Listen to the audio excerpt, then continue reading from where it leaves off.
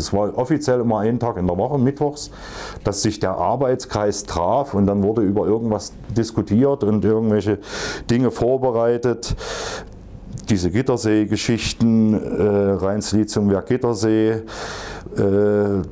für Gottesdienste gegen die Errichtung desselben und äh, die Wahlauszählung und dann eben auch so theoretische Sachen, denen ging es auch immer darum, diesen anarchistischen Gedanken, äh, es wurde dann Kropotkin gelesen und äh, na, mühsam und die ganzen äh, Anarchisten die Texte miteinander verglichen und diskutiert und verquaste Diskussionen geführt. Fand ich furchtbar interessant damals. Habe mir das auch alles durchgelesen. Ich habe es, äh, mich da rein vergraben in alle möglichen Ansichten und hin und her. Und da ging es immer heiß her. Es waren immer Gäste da von Berlin, von überall. Also da, da, kam für mich die große weite Welt sozusagen vorbei. Und es war auch immer klar, irgendeiner ist hier Spitzel oder zwei. Man lebte damit. Es war, na gut, dann ist es eben so. Und Wussten Sie, es war auch anregend und man hatte plötzlich Leute, mit denen man reden konnte. Besonders der Roman Kalix ist mir sehr angenehm in Erinnerung. Ein,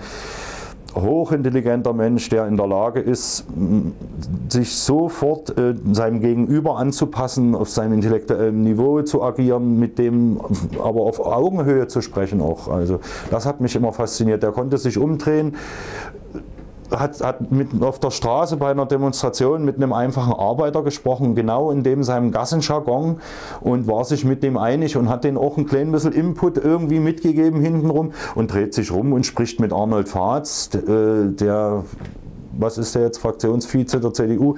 Äh, damals war es noch nie, aber war auch schon ein und plötzlich versteht man nur noch jedes dritte Wort. Also das hat mich damals furchtbar fasziniert. Er war für mich dann auch zeitweise, na vielleicht sogar so wie so eine Vaterfigur, da ich ja im Prinzip ohne Vater groß geworden bin.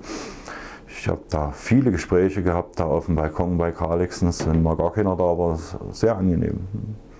Aber es war immer getrennt, also die Leute bei Pax, die waren nicht irgendwie bei euch und... Naja, es kamen immer mal ein paar mit äh, dahin, aber man legte schon Wert drauf, man ist was Eigenes und äh, ja, ich saß dann allerdings irgendwann in den Wendewürden dann eher bei Carlexens als, äh, die, als bei der Gruppe Pax.